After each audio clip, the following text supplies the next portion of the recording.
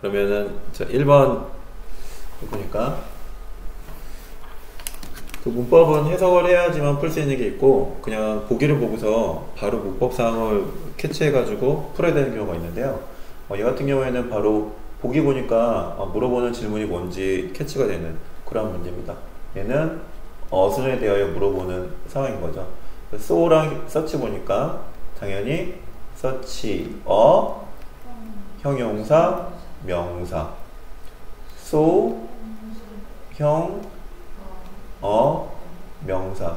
이게 일반적인 어순이죠. 그래서 서치형 형용사 명사, 어, 소, 형, 아, 소형하며. 그래서 이제 보통 소형아, 아이긴 한데, 아이가 소형 아이야. 대형 아이가 아니고, 이렇게 암기하고, 서치어, 그러한 혁명. 뭐 이렇게 이제 암기시키는 거거든요. 자, 그러면 이거 그대로 집어넣으면, 자, we had blank this weekend. 어, 서치어 형용사 명사. 나쁘지 않은데? such good weather. 이거 어가 없는데?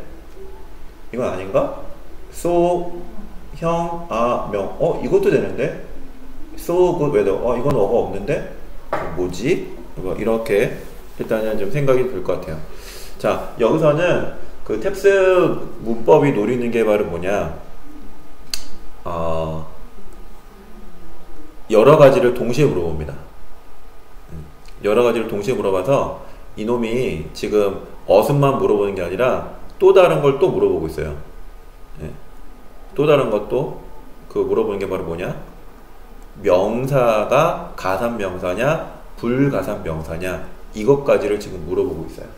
자, 가산 명사, 불가산 명사, 어떤 차이가 있을까요? 네. 그러면 카운터블과 언카운터블이 있는데 그 셀 수 있는 명사, 셀 수 없는 명사 그리고 봤을 때 셀 수 있는 명사 같은 경우가 하나일 경우에는 당연히 어 다음에 붙이고요. 그 다음에 두 개일 경우에는 뒤에 s나 es를 붙이죠. 근데 셀 수 없는 명사는 어를 붙이지 않아요. 그런데 여기서는 weather, 날씨 라는 애는 셀 수 없는 명사입니다. 그러니까 없어져야겠지요. 그러면은 A도 안 되고 C도 안 되고. 자, 그러면은 such good weather, so good weather. 자, 둘 중에 하나가 들어가면 되겠습니다.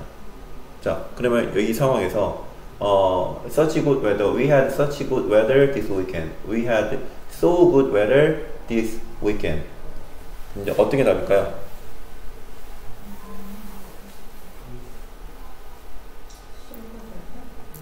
So? 아, so를 더 많이 쓸까요? 네. 제, 제가 물어봤는데 또, 또 질문을 또 하시면 오케이 자 그러면은 얘는 설명을 어떻게 드릴까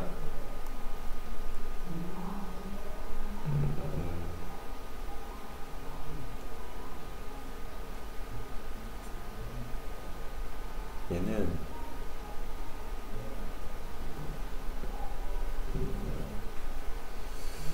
일단은 그 서치하고 소가 지금 꾸며주는 게 뭐냐 요걸 먼저 좀 보셔야 되는데 그소 자체가 품사가 부사예요.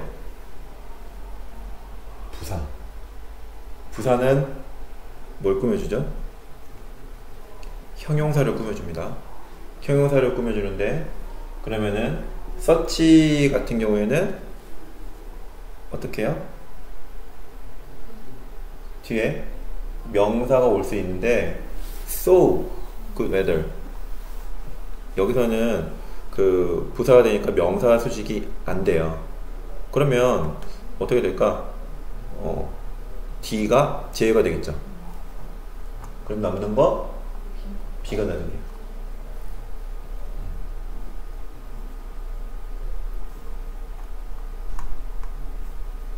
오케이.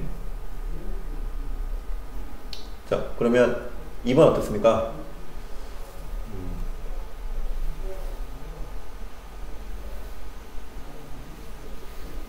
자, 2번은 지금 보니까, 어, he became obstinate. obstinate he became. he became obstinately 뭐 이렇게 쭉 나왔습니다. 자, 이거 요 놈도 어순에 대해서 좀 물어보고 있는 것 같은 그런 느낌을 받아요.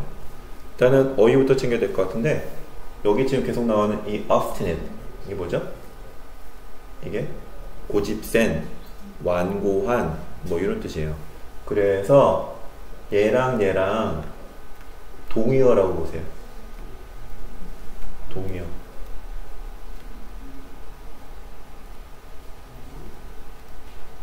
고집센 혹은 완고한. 자, 그러면 이제 가보자.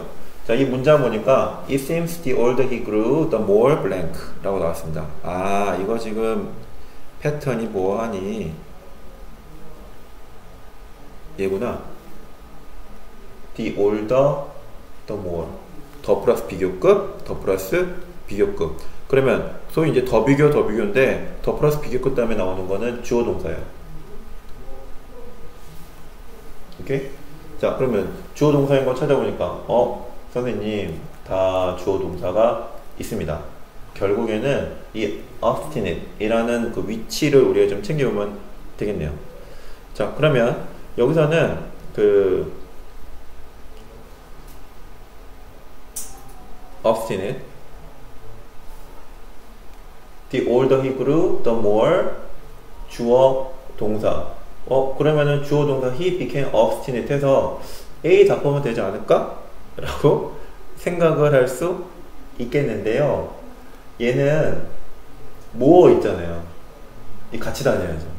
그러니까 more obstinate 가고 주어 동사 들어가야죠. 예, 그래서 답은 예.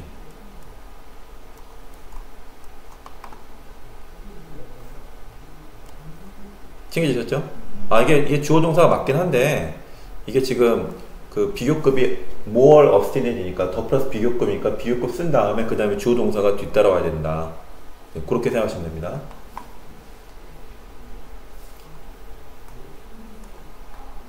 자 다음에 3번 가보죠. 자 우리 3번 보니까 아 이거 같은 경우에는 이제 뭐 지난 크리스마스를 생각하시면 문제가 좀 쉬워져요. 예, 크리스마스 때 캐롤송 많이 부르죠. 그 중에 이제 잘 불리는 게 울면 안 돼. 라는 노래가 있는데 그 영어 버전으로 하시나요? 울면 안 돼. 울면 안 돼. 영어 버전? 네. You'd better not cry. You'd better not fault. 이거든요. You'd better not cry. I'm telling you why Santa Claus is coming to town. 이거거든요. 요거 안 계시면 돼요. You'd better not cry. Had better not cry. 아, 뭐뭐 하는 편이 낫다. 근데 not의 위치가 어디냐? had better 다음에 온다. 라는 거. 자, 그러면은 일단 C랑 D는 제껴지죠.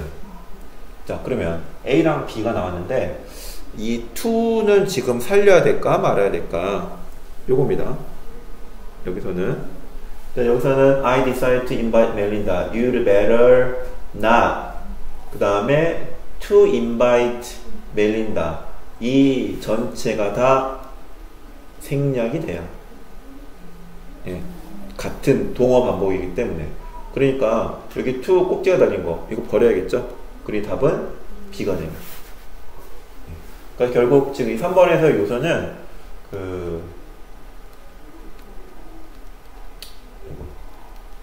better not 하고 그 다음에 생략이라는 특수구문에서 생략에 관련된 문법 요소를 물어보고 있는 어, 그런 문제였습니다.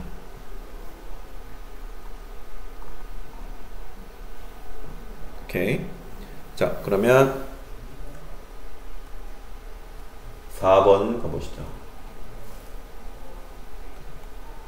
자, 우리 4번 보니까 자, 이런 것 같은 경우에는 이 어떤 그 수량 표현 뭐 아니면 그 시간 단위 요거에 대해서 지금 그 물어보고 있는 그런 경우였어요. 자, 보니까 어떻게 되죠? 일단 10 다음에는 S가 붙나요? 그쵸? 이거는 이제 우리 그 효리 언니가 열심히 불렀던 Just 10 minutes 치인데 네 S가 붙죠. 예.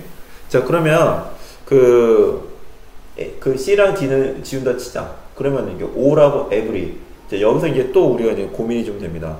어, 우리가 알고 있기로 every는 each나 every 다음에는 단수 명사가 온다고 했는데, 어, 그러면 B는 답이 아닌가? 그러면 틀리세요. 얘가 답이에요.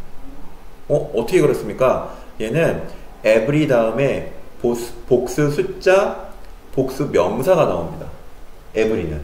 every 다음에 다시 every 다음에 단수 명사 당연히 나오죠. 예, 우리가 이제 중고등학교 시절 배웠던 게 each나 every 다음에 단수 명사 나온다 했는데 어, 이게 숫자가 나올 경우에는 복수 숫자가 나올 경우에는 뭐가 나온다? 복수 명사가 나온다 라는 거 네, 그걸 챙겨주시면 돼요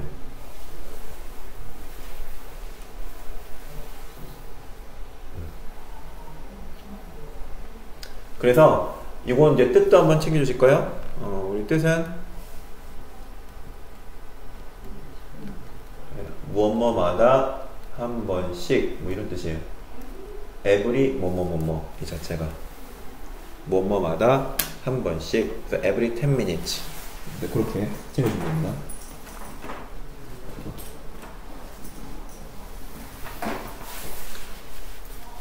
자, 다음에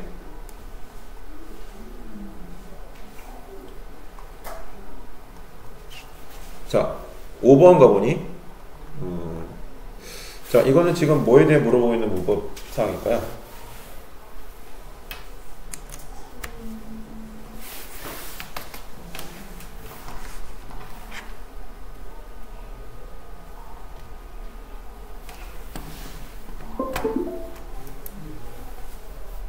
지금 5번은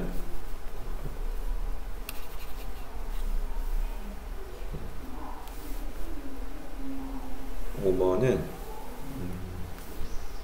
이것도 역시 본이 어술에 대해 있는 겁니다. 네. 자, 그러면 일단은 각각의 어떤 단어가 의미하는 게 뭔지를 좀 볼 필요 있겠습니다. 자, he blank after class. 당연히 이제 이 자리가 동사가 오고 그 다음에 right went home, went right home. 그러니까 집에 바로 가다 뭐 이런 느낌 챙겨줄 수 있을 것 같고요. 이 홈의 정체부터 챙기면 되겠네요. home. 홈 뜻이 뭐예요? 집에 집에이기 때문에 이거는 부사죠. 부사니까 이렇게 to가 들어간 거 일단 버립니다. 자 그러면은 right went home, went right home 이렇게 나왔어요. 자 여기서 right이라는 것 자체가 뭐냐? 이거는 이제 일종의 어, right은 강조 표현입니다. 자 강조 표현이기 때문에 강조하고자 할 때는 어떻게 해요? 강조하는 표현 앞에 나옵니다. 그러니까 어떻게 해요? 너 칼 어딘지 알아? 어, 수업 마치고 바로 집으로 갔는데 바로 집으로 강조하고자 하는 거는 집이에요. 그러니까 강조하고자 하는 단어 앞에 강조하는 단어가 나와요.